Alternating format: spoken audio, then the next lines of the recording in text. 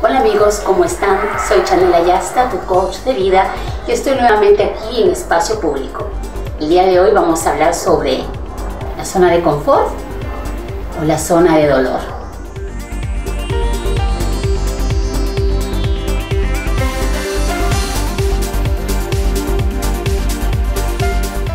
Zona de confort, o mejor dicho, zona de dolor. ¿Qué esconde esa zona de confort? Piénsalo. Estoy en mi zona de confort aun cuando no amo a esa persona. Estoy en mi zona de confort aun cuando estoy en grupo de amigas por tener amigas, pero no me siento feliz con ellas. Estoy en mi zona de confort cuando estoy en un trabajo, porque ya, no hay de otra. Perfecto, estamos en un momento de pandemia y que hay que tener lo que hay que tener.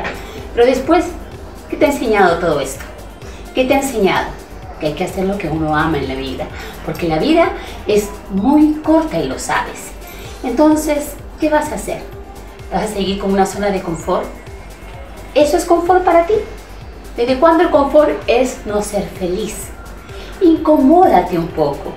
Haz lo que tal vez te incomoda al principio, pero después te va a dar confort al corazón, a la vida, al alma, porque estás con quien realmente quieres estar, porque estás haciendo lo que te gusta hacer, estás trabajando donde quieres trabajar y estás con las personas que realmente te hacen feliz, empezando por supuesto por ti mismo.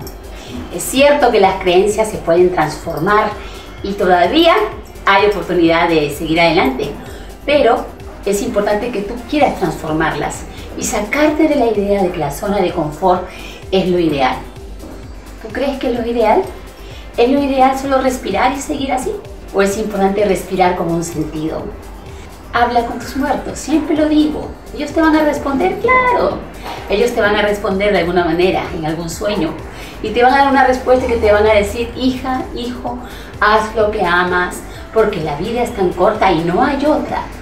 Entonces, ¿cuándo vas a empezar a hacer lo que realmente amas? ¿Cuándo va a ser ese momento donde vas a dejar por fin en paz esa oración, estoy en mi zona de confort que realmente esconde mucho, pero mucho dolor. Piénsalo, piénsalo y atrévete a ser feliz. Es una decisión solo tuya.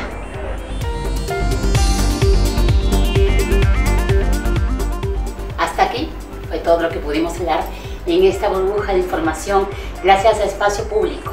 Recuerden que estoy en mis redes, Chanela Life Coach, tanto de Facebook como de Instagram y obviamente en mi hermosa comunidad Elemental Coach. Gracias, espacio público.